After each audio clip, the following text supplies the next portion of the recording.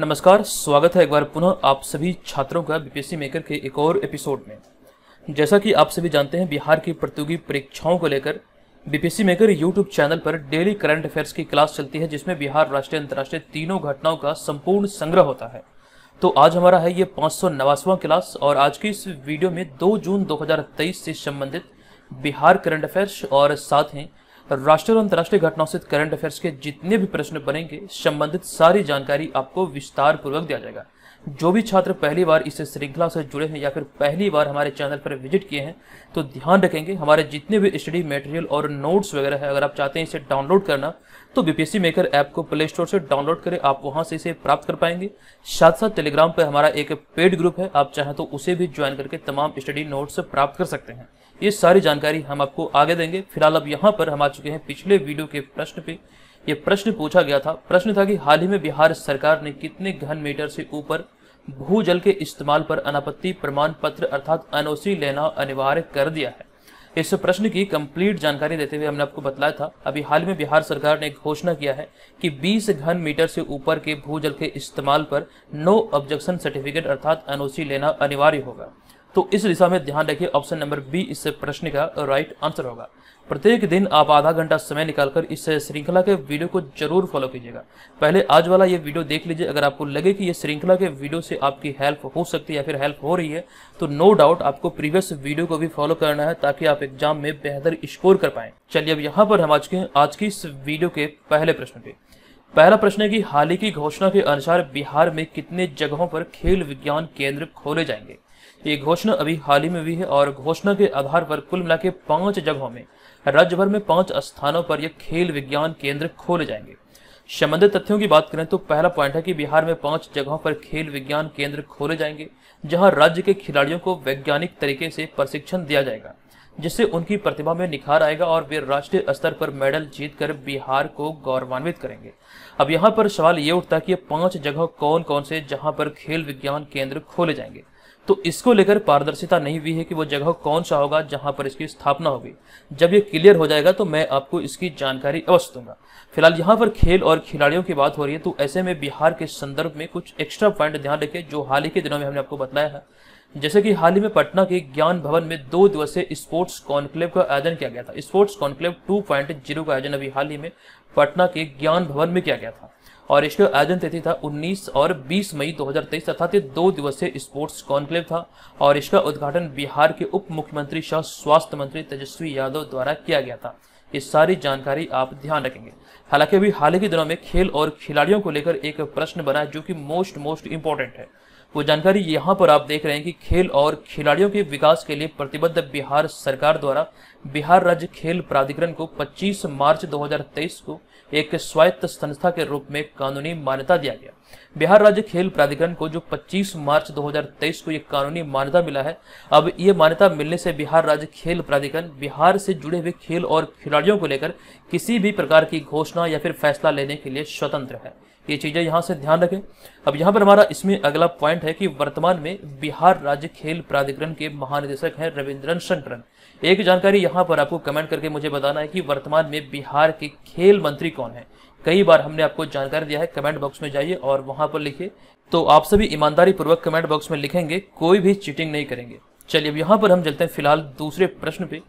ये दूसरा प्रश्न है कि हाल ही में बिहार के किस ज़िले की आम्रपाली सोनू झा ने जूनियर मिस इंडिया प्रतियोगिता में मिस गॉर्जस 2023 का खिताब जीता है, जिन्हें आप यहाँ पर इस तस्वीर में देख रहे हैं। तो इस प्रश्न का हमारा राइट आंसर होगा ऑप्शन नंबर बी यानी कि दरभंगा। अब यहाँ पर आपको जानकारी दे दूँ कि हाल ही में दरभंगा की आम्रपाली सोनू झा ने जूनियर मिस इंडिया प्रतियोगिता में मिस गॉर्जस 2023 का खिताब जीता है। दरअसल यहाँ पर आपको ये भी ध्यान रखना कि वह महज 14 साल की क्लास नाइन की छात्रा है। आप यहाँ पर तस्वीर में देख सकते हैं, एकमात्र नाइन क्लास की छात्रा है, महज चौदह साल इनकी उम्र है। अब यहाँ पर हमारा इसमें अगला पॉइंट है, वर्तमान में वे अपने परिवार के साथ पुणे में रहते हैं, लेकिन मूल रूप से ये बिहार के दरभंगा ज़िले की रहने वाले हैं। चूँकि यहाँ पर दरभंगा की बात हुई तो दरभंगा के बारे में एक जानकारी हमने आपको वर्ष 2021 में दिया था। एक रिपोर्ट आई थी, जिस रिपोर्ट में ये ज़िक्र किया गया था कि बिहार में राजधानी पटना के बाद जो राज्य का दूसरा सबसे बड़ा एजुकेशन हब है, वो दरभंगा है। और दरभंगा के बारे में हाल ही में कई सारे प्रश्न और भी बने हैं, जो कि इसी श्रृंखला में हमने आपको समय समय पर बतलाया है।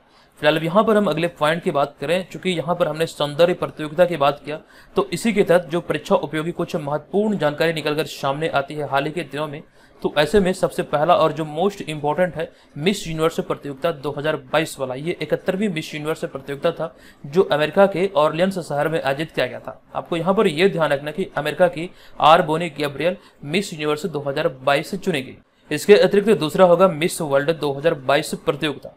तो पोलैंड की कैरोलिना विलावस्का ने इस खिताब को अपने नाम किया। जबकि हम बात करें मिसेज वर्ल्ड 2022 की तो सरगम कौशल जो कि जम्मू कश्मीर भारत की है 21 वर्ष बाद मिसेज वर्ल्ड का खिताब भारत की झोली में आया और सरगम कौशल ने भारत को दिलाया था। और इसके अतिरिक्त एक और है, मिस इंडिया 2023 तो नंदिनी गुप्ता इसकी विजेता है, जो कि कोटा, राजस्थान की रहने वाली है। तो ये यहाँ से ये सौंदर्य प्रतियोगिता के बारे में आपको ये सारी बातें ध्यान रखना है।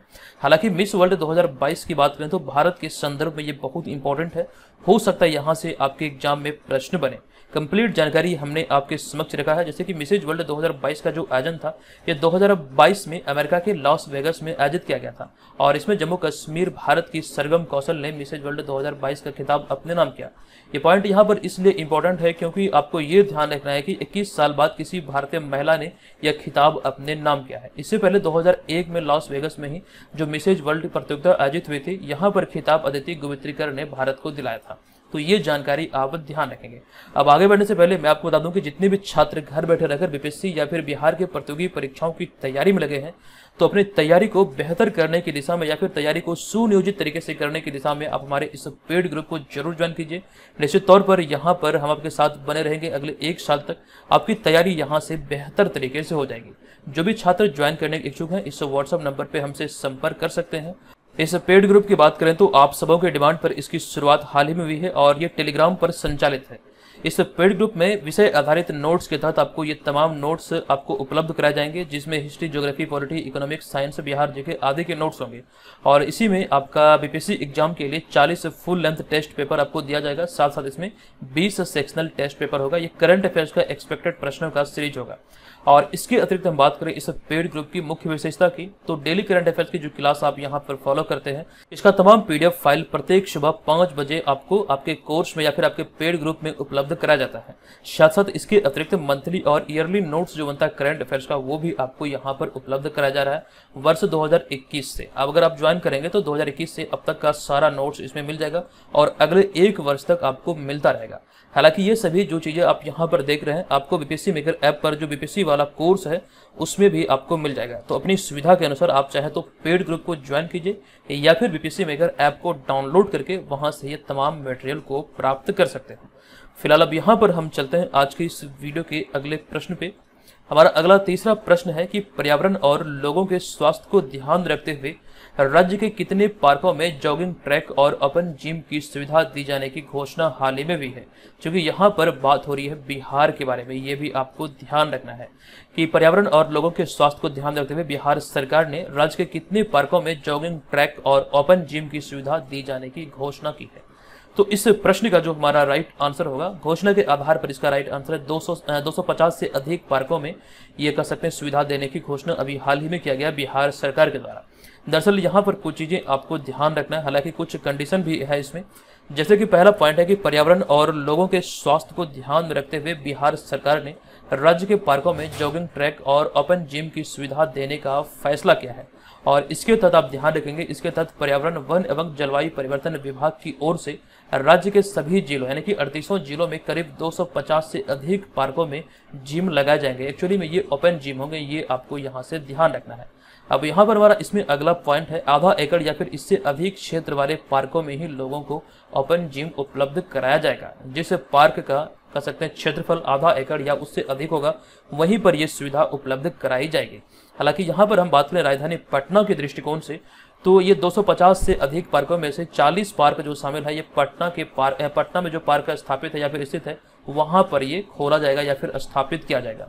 हालाँकि इसके अतिरिक्त आपको ये भी ध्यान रखना है कि महिला और पुरुष दोनों के लिए अलग अलग जिम उपलब्ध कराए जाएँगे। तो इतनी सारी जानकारी है जो कि आपको इस प्रश्न से संबंधित यहाँ पर ध्यान रखना है। फ़िलहाल अब यहाँ पर हम चलते हैं अगले चौथे प्रश्न पे, जो कि अति महत्वपूर्ण है। ये प्रश्न की हाल ही में आयोजित आईपीएल 2023 में emerging player of the season का अवार्ड किसने जीता है? तो आप यहाँ पर इस तस्वीर को देखकर समझ चुके हैं। इसका राइट आंसर होगा यशस्वी जायसवाल। यानी कि ऑप्शन नंबर ए इस प्रश्न का राइट आंसर हो जाएगा। अब यहाँ पर आपको संबंधित सारी जानकारी दे दूँ। जैसे हमारा पहला पॉइंट है कि हाल ही में आयोजित आईपीएल के सोलहवें संस्करण में राजस्थान रॉयल्स के ओपनर बल्लेबाज यशस्वी जायसवाल को इस सीज़न का emerging player of the season का खिताब दिया गया। ये चीज़ें यहाँ से आप ध्यान रखेंगे। आईपीएल से संबंधित प्रश्न आपके एग्ज़ाम में कई बार पूछे गए हैं। निश्चित तौर पर आने वाले समय में भी पूछे जाने की यहाँ से प्रबल संभावना बनती है। तो इसके अतिरिक्त आईपीएल 2023 के इस सोलहवें संस्करण से संबंधित जो भी प्रश्न आपके एग्ज़ाम में पूछे जा सकते हैं, वो सभी हमने यहाँ पर पॉइंट वाइज आपके समक्ष रखा है। जैसे कि सबसे ज़्यादा रन के लिए जो खिलाड़ियों को ऑरेंज कप दिया जाता है, ये किसको मिला? तो शुभमन गिल को मिला, जो कि 890 रन, यानी कि सर्वाधिक रन इन्होंने इस आईपीएल के सोलहवें संस्करण बनाया था। जिसलिए इन्हें अभी हाल ही में ऑरेंज कप से सम्मानित किया गया। इसके अतिरिक्त एक होता है पर्पल कैप तो आपको यहाँ पर ध्यान रखना है सबसे ज़्यादा विकेट के लिए पर्पल कैप दिया जाता है जो कि मोहम्मद समी को दिया गया। कुल मिला के सब, सबसे अधिक इन्होंने 26 विकेट अपने नाम किया। एक चीज़ यहाँ पर आप लोग ध्यान रखेंगे शुभमन गिल और मोहम्मद समी दोनों गुजरात टाइटन्स आईपीएल टीम के खिलाड़ी हैं।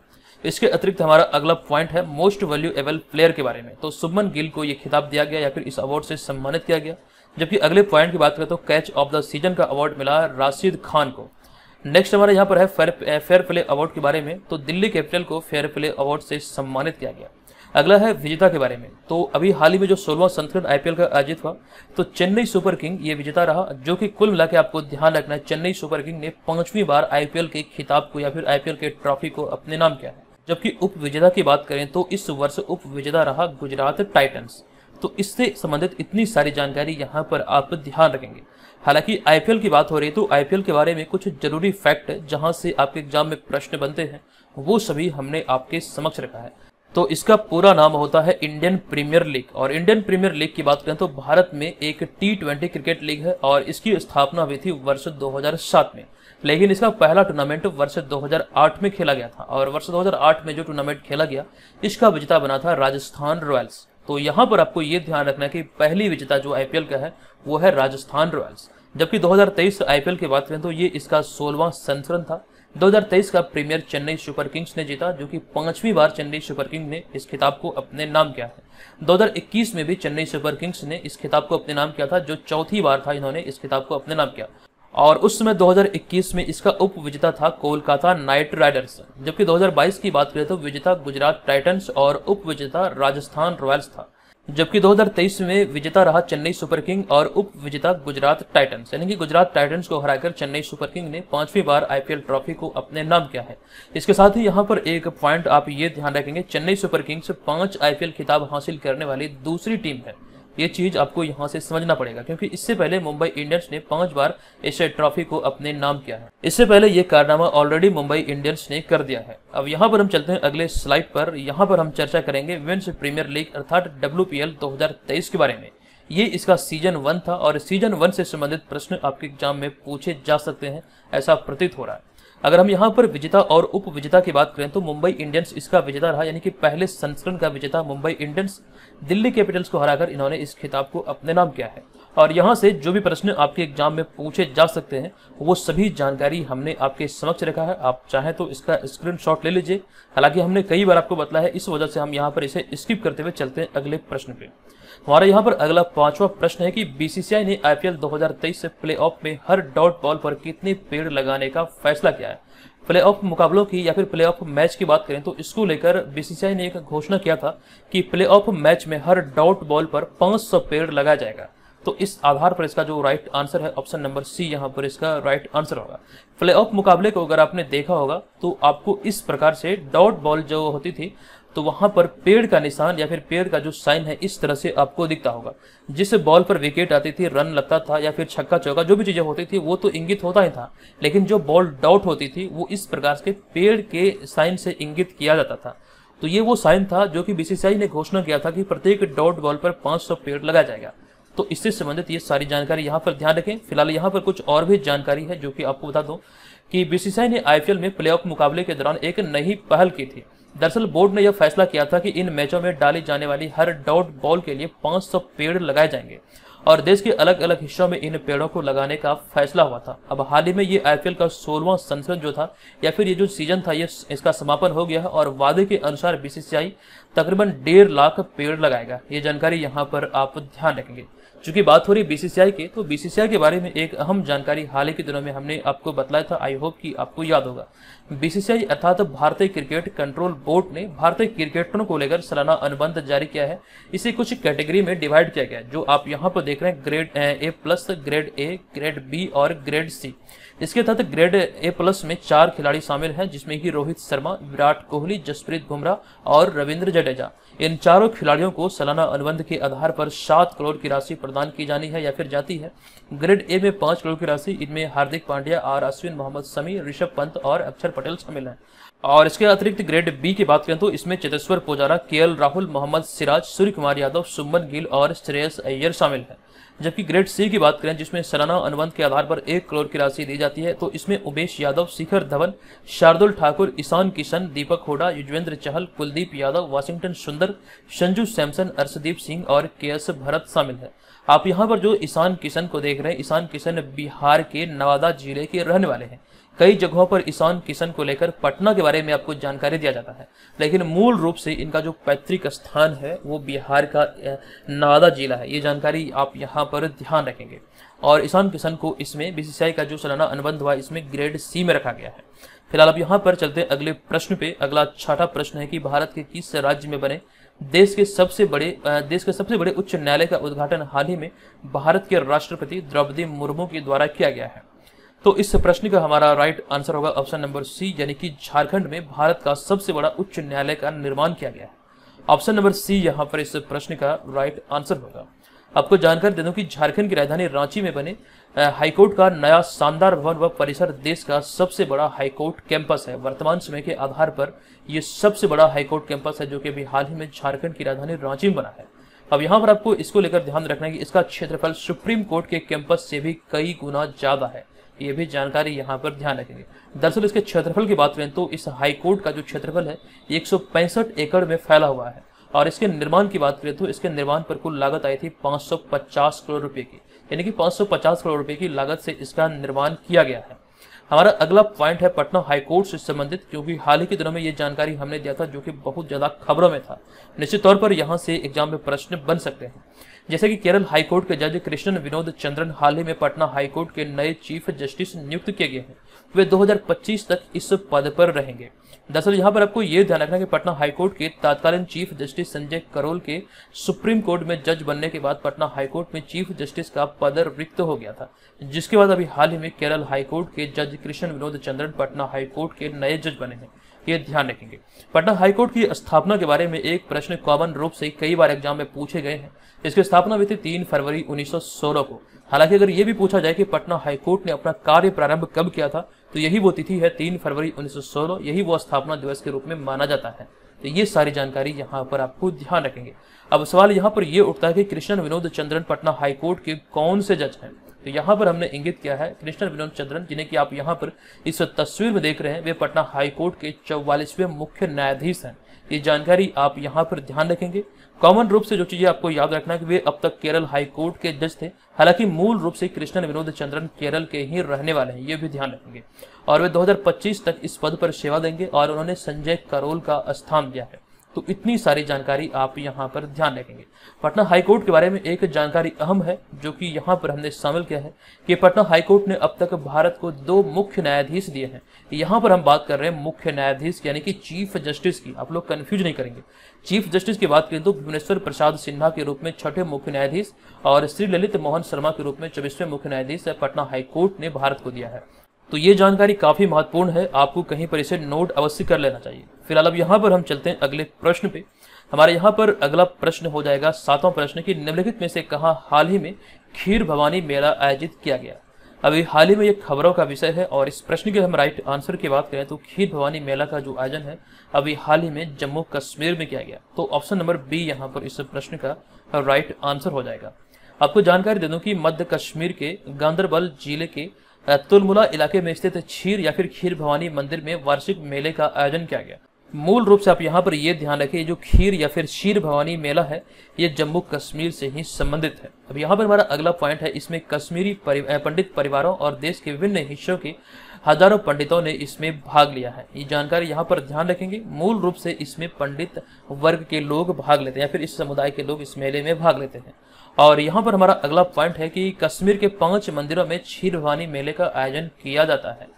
और इसमें एक अतिरिक्त फैक्ट हमने शामिल किया है कि जम्मू कश्मीर में मनाया जाने वाला जो प्रमुख महोत्सव है, कई बार यहाँ से भी इस प्रकार से भी तथ्य एग्ज़ाम में पूछे जाते हैं। तो उनमें जो मोस्ट इंपॉर्टेंट है, जहाँ से प्रश्न बनना स्वाभाविक है, वो हमने शामिल किया है। जैसे हेमिस महोत्सव और इसके अतिरिक्त बैसाखी, जो कि बैसाखी के बारे में बात करें तो जम्मू कश्मीर मनाया जाने वाला एक सबसे प्रमुख महोत्सव की सूची में ये शामिल है। और इसके अतिरिक्त ट्यूलिप फेस्टिवल या फिर ट्यूलिप महोत्सव, जो जानकारी हमने कुछ समय पहले आपको दिया था आई होप आपको याद होगा। इसके अतिरिक्त शिकारा महोत्सव साथ साथ गुरेज महोत्सव, जो कि ये सभी जम्मू कश्मीर में मनाया जाने वाला एक प्रमुख महोत्सव या फिर समारोह है। तो इतनी सारी जानकारी आपको यहाँ से ध्यान रखना है। फ़िलहाल अब यहाँ पर हम चलते हैं अगले आठवें प्रश्न पे। ये प्रश्न की हाल ही में अटल भूजल योजना का कार्यकाल बढ़ाकर 2027 कर दिया गया है। प्रश्न पूछा गया कि बताएँ कि इसकी शुरुआत कब की गई थी? यानी कि अटल भूजल योजना की शुरुआत कब हुई थी? इस प्रश्न का हमारा राइट आंसर है एक अप्रैल 2020 को अटल भूजल योजना की शुरुआत हुई थी। इनसे संबंधित तथ्यों में पहला पॉइंट है कि राष्ट्रीय स्तर की संचालन समिति ने भारत की केंद्रीय क्षेत्र की जल संरक्षण योजना अर्थात अटल भूजल योजना का कार्यकाल दो और वर्षों के लिए बढ़ा दिया। दरअसल यहाँ पर कुछ चीज़ें हैं जो आप ध्यान रखेंगे कि इस योजना की जो समय सीमा निर्धारित थी वो 2025 थी, लेकिन अब सरकार ने इस योजना की अवधि दो साल बढ़ाकर 2027 कर दिया है। इस वजह से यहाँ पर यह पॉइंट इंपॉर्टेंट होता है।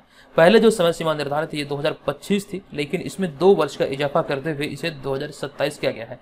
अर्थात अटल भूजल योजना की जो कार्यान्वयन की या फिर कार्य अवधि जो है इसकी, ये दो हज़ार सत्ताइस होगी। अब यहाँ पे हमारा अगला पॉइंट अटल भूजल योजना से संबंधित है कि इसकी शुरुआत जो हुई थी, ये एक अप्रैल 2020 को हुई थी। और आपको ध्यान रखना इसका मुख्य उद्देश्य क्या है?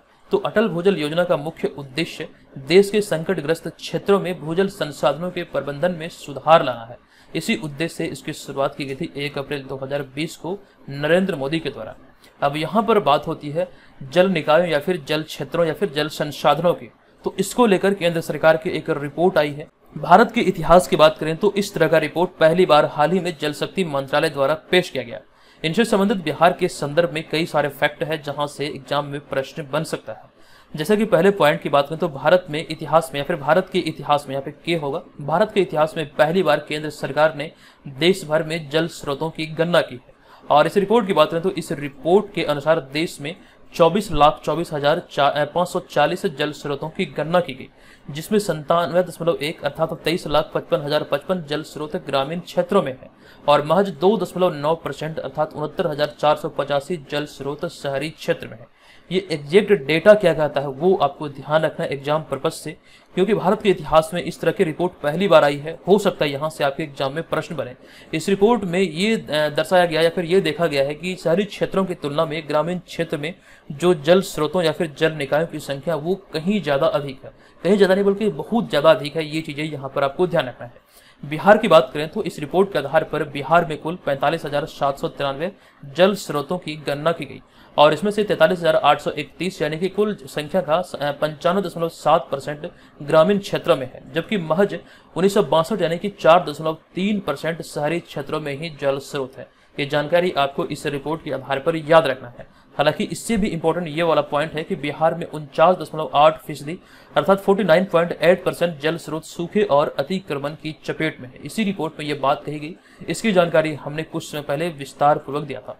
ये सारी बातें ध्यान रखेंगे। आप चाहें तो इसका स्क्रीनशॉट ज़रूर ले लीजिए। हालाँकि जो जानकारी हमने आपको पीडीएफ से संबंधित दिया कि पेड ग्रुप में आपको इसका पीडीएफ उपलब्ध कराया जाएगा तो पीडीएफ डाउनलोड करने का फ़ायदा आपको ये होगा कि नोट करने में जो आप अपना समय व्यर्थ करते हैं तो ऐसे समय की आपकी बचत होगी। नो डाउट जिस प्रकार से हम आपको मटेरियल देंगे, वो आपका एक प्रकार का नोट का ही काम करेगा। आप उसे अच्छी तरीके से अपने फ़ोन ड्राइव में सेव करके रखेंगे समय समय पर उसका रिविजन देते रहेंगे, इससे आपका समय बचेगा और आपको अदर सब्जेक्ट पर ध्यान केंद्रित करने का समय मिलेगा। चलिए अब यहाँ पर हम चलते हैं अगले पॉइंट पे या फिर अगले प्रश्न पे। ये प्रश्न है कि हाल ही में भारत को कहा दूसरी जल विद्युत परियोजना शुरू करने की मंजूरी मिली है? इस प्रश्न का हमारा राइट आंसर होगा ऑप्शन नंबर बी यानी कि नेपाल। अब यहाँ पर आपको जानकारी दे दूँ कि नेपाल ने भारत के सतलज जल विद्युत निगम को नेपाल में दूसरी जल विद्युत परियोजना शुरू करने की अनुमति दी है। नेपाल गवर्नमेंट के द्वारा भी हाल ही में ये अनुमति दिया गया है। अब यहाँ पर हमारा अगला पॉइंट है कि सतलज जल विद्युत निगम इस समय पूर्वी नेपाल में अरुण नदी पर 900 मेगावाट अरुण थ्री जल विद्युत परियोजना विकसित कर रहा है, जो कि वर्ष 2024 में पूरा होने की संभावना है। हालाँकि दूसरी जल विद्युत परियोजना शुरू करने की अनुमति हाल ही में नेपाल द्वारा दिया गया है। ये जानकारी यहाँ पर ध्यान रखेंगे। इसके अतिरिक्त कुछ अहम जानकारी हमने भारत और नेपाल के बारे में शामिल किया है कि भारत नेपाल संयुक्त सैन्य प्रशिक्षण अभ्यास सूर्यकिरण का सोलवा संस्करण हाल ही में Nepal army battle school Saljhandi में आयोजित किया गया था। ये चीज़ें यहाँ से आपको ध्यान रखना है। सूर्यकिरण जो युद्धाभ्यास है, ये भारत और नेपाल के बीच आयोजित होने वाला सैन्य संयुक्त सैन्य प्रशिक्षण अभ्यास है। इसके आयोजन तिथि की बात करें, जो इसका सोलवा संस्करण अभी हाल ही में नेपाल के सलझंडी में आयोजित हुआ तो उन सोलह से उनतीस दिसंबर 2022 तक ये आयोजित हुआ है। इसका पिछला संस्करण जो था पंद्रवा संस्करण, ये 20 सितंबर 2021 से उत्तराखंड के पिथौरागढ़ में आयोजित किया गया था। ये भी जानकारी नोट करेंगे। नेक्स्ट दसवां प्रश्न है कि हाल ही में शरत बाबू का निधन हुआ है। बताएँ कि वे निम्नलिखित में से कौन थे, जिन्हें आप यहाँ पर इस तस्वीर में देख रहे आई होप कि आप सभी इन्हें जानते होंगे। तो साउथ इंडियन फ़िल्म के अभिनेता थे। तो ऑप्शन नंबर बी, यहाँ पर इस प्रश्न का हमारा राइट आंसर होगा। आपको जानकर दे दूँ कि साउथ फ़िल्म इंडस्ट्री के बड़े स्टार शरद बाबू का लंबी बीमारी के बाद हाल ही में निधन हो गया। वे इकहत्तर वर्ष के थे। ये जानकारी आप यहाँ पर ध्यान रखेंगे। चूँकि बात हो रही फ़िल्म इंडस्ट्री की तो ऐसे में यहाँ पर कुछ अहम जानकारी हमने आपके समक्ष रखा है, जो कि हाल ही के दिनों में करंट अफेयर्स के प्रश्न बने हैं। नो डाउट यहाँ से आपके एग्ज़ाम में प्रश्न बनेंगे। तो यहाँ पर हम बात करें पहले पॉइंट की तो पहला पॉइंट है Indian film festival of Melbourne यानी कि आई एफ़ एफ़ एम दो हज़ार बाईस में सर्वश्रेष्ठ अभिनेता का खिताब रणवीर सिंह को दिया गया। जबकि इसके अतिरिक्त मध्य प्रदेश राज्य ने अड़सठवें राष्ट्रीय फ़िल्म पुरस्कार में फ़िल्मों के लिए सर्वाधिक अनुकूल राज्य का पुरस्कार जीता है। अड़सठवां राष्ट्रीय फ़िल्म पुरस्कार की बात करें तो इसमें मध्य प्रदेश राज्य ने फ़िल्मों के लिए सर्वाधिक अनुकूल राज्य का पुरस्कार अपने नाम किया है। चूँकि बात हुई अड़सठवें राष्ट्रीय फ़िल्म पुरस्कारों की, यानी कि अड़सठवें नेशनल फ़िल्म अवार्ड की तो इसमें सर्वश्रेष्ठ अभिनेता का जो अवार्ड मिला, ये सूर्या और अजय देवगन को संयुक्त तौर पर दिया गया। ये जानकारी यहाँ से ध्यान रखेंगे। हालाँकि हम बात करें अड़सठवें फ़िल्म फेयर अवार्ड की, जो कि अभी हाल ही में मुंबई में आयोजित हुआ था। हाल ही में ये जानकारी हमने आपके समक्ष रखा था। तो इसके तहत सर्वश्रेष्ठ अभिनेता का खिताब मिला राजकुमार राव को फ़िल्म बधाई दो के लिए। जबकि सर्वश्रेष्ठ अभिनेत्री की बात करें तो सर्वश्रेष्ठ अभिनेत्री का खिताब मिला आलिया भट्ट को, उनकी फ़िल्म गंगूबाई काठियावाड़ी के लिए। तो इतनी सारी जानकारी आप यहाँ पर ध्यान रखेंगे। हालाँकि यहाँ पर हमने विस्तार पूर्वक भी अड़सठवें हुंडई फ़िल्म फेयर अवार्ड 2023 के बारे में सारी जानकारी आपके समक्ष रखा है। आप चाहें तो इसका स्क्रीनशॉट ले लीजिए। हालाँकि ये जानकारी हमने आपको विस्तार पूर्वक दिया था, जो कि आपको ध्यान होगा। अगला स्लाइड यहाँ पर है। हाल ही में कल वाले वीडियो में हमने इसकी जानकारी आपको दिया था। International Indian film academy award अर्थात आईफा के बारे में। जो कि अबू धाबी के यस आइलैंड पर अभी हाल ही में इसका तेईसवां पुरस्कार समारोह आयोजित हुआ। इसमें बेस्ट फ़िल्म का अवार्ड मिला दृश्यम टू को, बेस्ट डायरेक्टर का जो अवार्ड मिला ये आर माधवन को मिला। Best actor in leading role female category में ये गंगूबाई काठियावाड़ी के लिए आलिया भट्ट को दिया गया। और इसी के तहत अगर हम बात करें मेल कैटेगरी की, यानी कि best actor in leading role male category में तो विक्रम बेदा के लिए ऋतिक रोशन को यह अवार्ड दिया गया। सपोर्टिंग रोल फीमेल कैटेगरी की बात करें तो ब्रह्मास्त्र के लिए मोनी रॉय को। सपोर्टिंग रोल मेल कैटेगरी की बात करें तो जुग जुग जियो के लिए अनिल कपूर को दिया गया। ये संबंधित वैसे फैक्ट है जहाँ से कॉमन रूप से आपके एग्ज़ाम में प्रश्न बन सकते हैं। नेक्स्ट यहाँ पर हमारा अगला ग्यारहवा प्रश्न है कि किस देश ने हाल ही में सेंट्रल एशियाई वॉलीबॉल संघ विमेंस वॉलीबॉल चैंपियनशिप का खिताब अपने नाम किया है। तो भारत ने अभी हाल ही में एक खिताब अफ़गानिस्तान को हराकर अपने नाम किया। तो ऑप्शन नंबर बी यहाँ पर इस प्रश्न का राइट आंसर हो जाएगा। आपको जानकारी दे दूँ कि हाल ही में भारत ने अफ़गानिस्तान को हराकर सेंट्रल एशियाई वॉलीबॉल संघ विमेन्स वॉलीबॉल चैंपियनशिप का खिताब अपने नाम किया है। दरअसल आपको यहाँ पर ध्यान रखना इस टूर्नामेंट में कुल आठ देशों ने हिस्सा लिया था और इस टूर्नामेंट का आयोजन नेपाल वॉलीबॉल एसोसिएशन द्वारा, मध्य एशियाई वॉलीबॉल एसोसिएशन और एशियाई वॉलीबॉल परिसंघ के तत्वाधान में काठमांडू में किया गया था। यहाँ पर जो जानकारी आपको याद रखना है कि इस देश ने इस खिताब को किसे हराकर अपने नाम किया तो अफ़गानिस्तान को हराकर भारत ने इसे अपने नाम किया है। इस प्रतियोगिता में आठ देशों ने भाग लिया था। इसका आयोजन अभी हाल ही में काठमांडू, नेपाल में किया गया था। ये कुछ महत्वपूर्ण पॉइंट है जहाँ से आपके एग्ज़ाम में प्रश्न बनेंगे। नेक्स्ट बारह प्रश्न की हाल ही में विश्व स्वास्थ्य संगठन अर्थात डब्ल्यूएचओ ने बाहरी लेखा परीक्षक, यानी कि एक्सटर्नल ऑडिटर के रूप में पुनः किन्हें नियुक्त किया है। इस प्रश्न का जो राइट आंसर है, जिन्हें आप यहाँ पर इस तस्वीर में देख रहे हैं तो इसका राइट आंसर है गिरीश चंद्र मुर्मू। अब यहाँ पर आपको जानकारी दे दूँ कि भारत के नियंत्रक और महालेखा प्रेक्षक अर्थात कह गए गिरीश चंद्र मुर्मू को हाल ही में चार साल के कार्यकाल के लिए विश्व स्वास्थ्य संगठन डब्ल्यूएचओ के बाहरी लेखा प्रेक्षक, यानी कि एक्सटर्नल ऑडिटर के रूप में फिर से चुना गया है। दरअसल उनका जो नया कार्यकाल होगा, ये 2024 से 27 के लिए होगा। अर्थात अगले चार साल के लिए इन्हें चुना गया है। तो इससे पहले की बात करें तो 2019 से 2023 तक चार साल के लिए डब्ल्यूएचओ में यह पदवी संभाल रहे थे। तो इतनी सारी जानकारी आपको यहाँ से ध्यान रखना है। फ़िलहाल आज की इस वीडियो को यहाँ पर समाप्त करते हैं। हम चलते हैं आज के इस वीडियो के प्रश्न की ओर। आज के इस वीडियो का हमारा प्रश्न है कि हाल ही में बिहार के मुख्यमंत्री नीतीश कुमार ने कौन सा ऐप लॉन्च किया है? इसकी कंप्लीट जानकारी हमने आपको कल वाले वीडियो में दिया था। आप लोग कमेंट बॉक्स में बताइए इसका राइट आंसर क्या होगा। और जो जानकारी हमने आपको पेड ग्रुप के बारे में दिया था, आप चाहें तो इसे ज़रूर ज्वाइन कर लीजिए। नो no डाउट इसे ज्वाइन करने से आपको बेहतर तरीके से तैयारी करने में मदद मिलेगी। हम आपके साथ अगले एक साल तक बने रहेंगे और यहाँ पर जो मटेरियल आपको मिलेगा, इससे आपकी तैयारी बेहतर होगी। साथ ही अगर आप चाहें तो इसे एप्लीकेशन के भी माध्यम से डाउनलोड कर सकते हैं। हालाँकि एप्लीकेशन पे अभी कुछ गड़बड़ी चल रही है तो आप लोग चाहें तो पेड ग्रुप को यहाँ पर कर सकते हैं टेलीग्राम पर ज्वाइन कर सकते हैं। प्रक्रिया यहाँ पर दर्शाई गई है। तो दोस्तों, आज के इस वीडियो में इतना ही। मिलेंगे नेक्स्ट वीडियो में। तब तक के लिए धन्यवाद। जय हिंद।